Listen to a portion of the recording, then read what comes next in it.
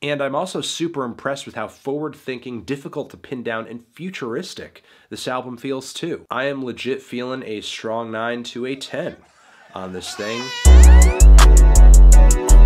In New York, I rock, hiding in my socks, running from and I shoot at